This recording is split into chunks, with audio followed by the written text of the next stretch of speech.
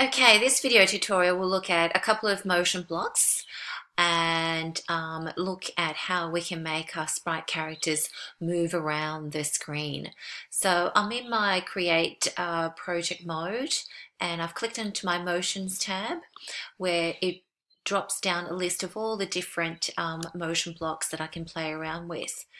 The first one that I want to show you is um, this particular uh, motion block here, which is go to X and Y coordinates. And just to make this exercise a little bit easier to understand, I'll just change my backdrop to show you um, the different positioning that you have within um, Scratch. So where the um, the cat is at the moment, it's uh, the positioning is all based on the X which is the line going across um, the horizontal line and the y coordinates. And the y is the line that's going down which is the horizontal. So if you can have a look in here um, the x and the y coordinates right in the middle of the screen is 0 and 0 so with this particular go to x y block if I just go 0 and 0 there and click onto this uh, block to test, my cat sprite will actually go right in the middle, which is x coordinate 0 and y coordinate um, 0.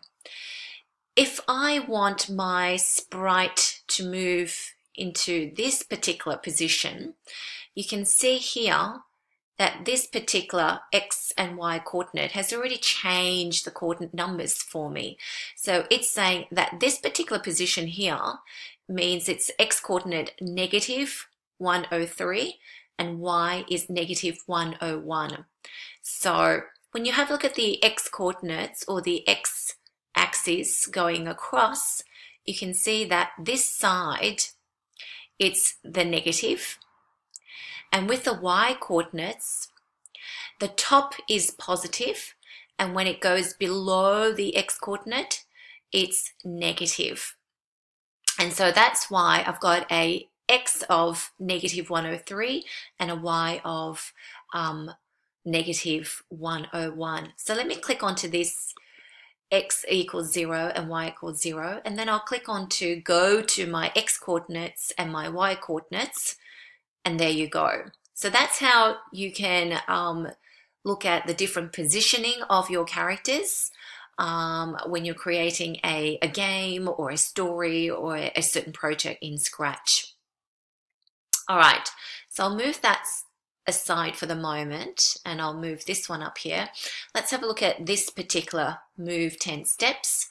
So what this does is basically what it's saying it will do. It will actually move 10 steps. So let me click onto that. So that's 10 steps there. It's every time I click onto this, it's moving 10 steps. I can change this from 10 to 5 and you can see what happens after that. Okay, so it's taking 5 steps instead of 10 steps now. What I want this to do is I can actually look at my repeat block and um, click onto that and see what happens. So it's repeating the moved five steps 10 times. If I change the 10 to the 20, let's have a look at what happens.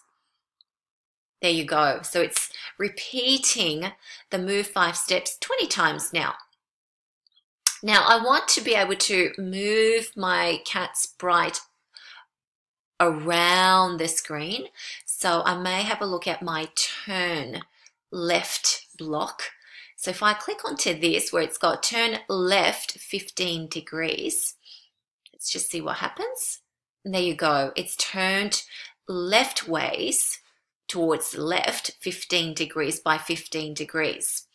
Um, and if I click onto my little eye icon here, I can actually set the rotation or the direction of my cat's sprite back to its original, which is sitting at 90 degrees. So let's say, let's change that 15 degrees to 90 degrees and we'll snap that one in there. And what I want to do is go back into my control, grab my repeat block again and snap it around so all my scripts are inside my other repeat block. And we'll say, let's repeat that four times. And then let's click onto this and see what happens. Oh, there you go. So it looks like it's moving across, up, across, and then back down again. So it's repeating the move five steps 20 times.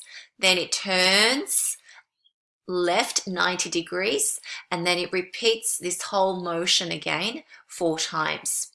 So now let me snap this go to block on top of my repeat block and then click onto that to test. There you go. So now what I'm saying is go to my X position and my Y position, which is X equals negative 103 and Y equals negative 101, which is this position here. Then I want you to move five steps. Repeat the movement of the five steps 20 times.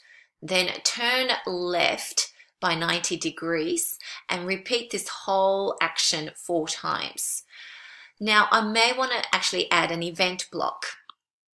So I could say to start this game or to start this project, um, I want to be able to click onto the green flag and I want this particular step to occur. So let's click onto that. And there you have it. So that's how you can use some of the motion blocks to get your characters to move around your backdrop or your screen. Now let's actually change this backdrop um, to something a little bit more interesting. And I may want to go into a space backdrop and we'll go okay to that. And there you have it. So let me just click onto my green flag. And there you go. Hope you have fun playing around with your motion blocks.